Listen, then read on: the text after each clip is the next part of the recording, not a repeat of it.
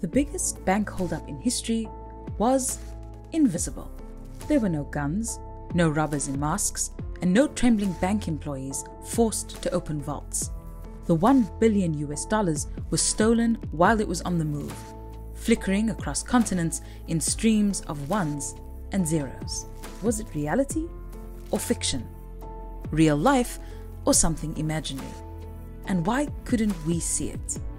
The bank heist of 2016 illustrates that as human beings, we see only a thin sliver of reality.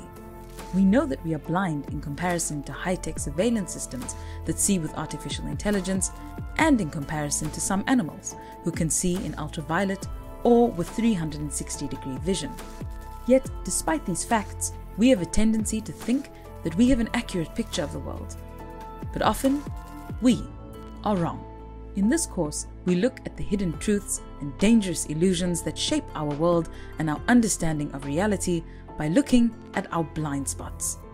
What surrounds us, what sustains us, and what controls us. Why do we suffer from this collective blindness, and how do we begin to see clearly? It's time for a corrective lens and to discover that there's more to the world than meets the eye.